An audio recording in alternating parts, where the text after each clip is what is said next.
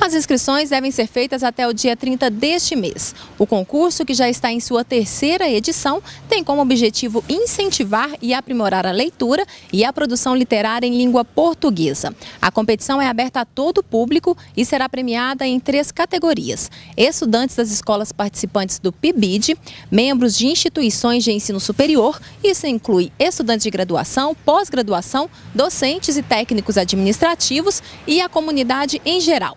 O regulamento está disponível na página da PROEC. As inscrições também devem ser feitas pelo site. Lídia Bueno para Universitária Notícias.